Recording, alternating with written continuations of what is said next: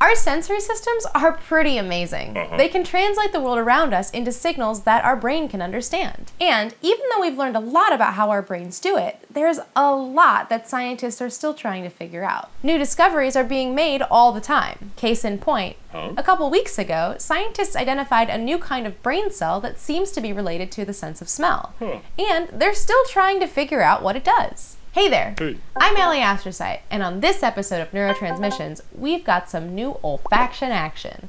And I'm here to tell you all about it. Yes. In a previous video, we talked about how our brains translate odorants in the air into smells in our brain using the olfactory system. Check out that video for a more detailed explanation of how it works. A study published in Cell this month could totally change the way we think about olfaction. To briefly recap, in our video, I talked about the main olfactory system and how inside your nose, olfactory sensory neurons, or OSNs, can detect microscopic particles of odorants thanks to specialized olfactory receptors. The discovery of these G protein coupled receptors was considered so important that it won the 2004 Nobel Prize in Physiology and Medicine for helping to clarify the mechanisms of olfaction. Each cell only has one kind of receptor on it, so each OSN is unique. It can only respond to certain kinds of chemical stimuli.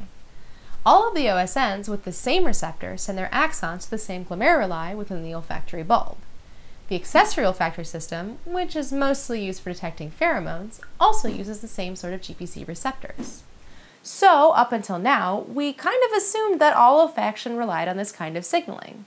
That GPC receptors are the receptor of choice for smell, and that this one receptor per neuron pattern is really crucial for discriminating different odors. But last month's research has discovered a third group of olfactory neurons in mice, called necklace neurons, that seem to use a totally different mechanism. These necklace neurons are found in little recesses of the olfactory epithelium, dubbed cul-de-sacs by the researchers and they project a set of glomeruli circling the back part of the olfactory bulb like a necklace.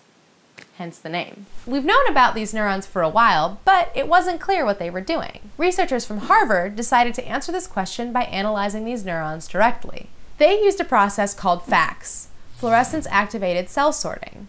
FACS lets scientists mark particular types of cells with fluorescent antibodies, binding only to the cell of interest in a solution containing many different cells. This solution is then passed through a narrow channel where a light and a computer track each cell and separate the cells based on the fluorescent antibodies attached to them. So, the Harvard scientists were able to isolate the necklace neurons separately from the rest of the olfactory epithelium and then examine their gene expression to see how it was different from the ordinary OSNs. It turns out that the necklace neurons don't use GPC receptors the way that other olfactory neurons do. Huh? Instead, they found that necklace neurons have membrane spanning 4 pass A proteins. Also called MS4PA proteins, it appears that these proteins have some of the same characteristics as chemosensory receptors leading the researchers to believe that it may be a new kind of olfactory receptor. Even more surprising, it turns out that individual necklace neurons express more than one kind of MS4PA receptor at a time, which turns that whole one receptor per neuron standard on its head. The study found that these receptors respond to chemical stimuli from fatty acids, like those given off by seeds and nuts, and a particular pheromone that's known to be unpleasant to mice. Their wonky expression pattern has led the researchers to hypothesize that these cells might tell an animal that there's something important out there in the environment.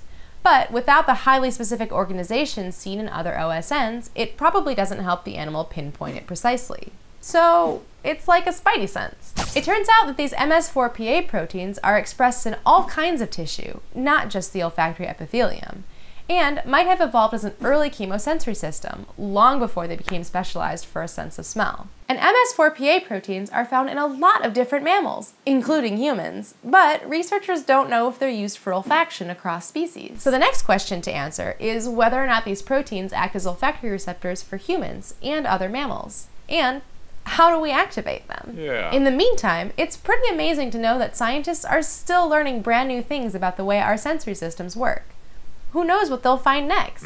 Thanks for mm. joining us for this week's episode of Neurotransmissions.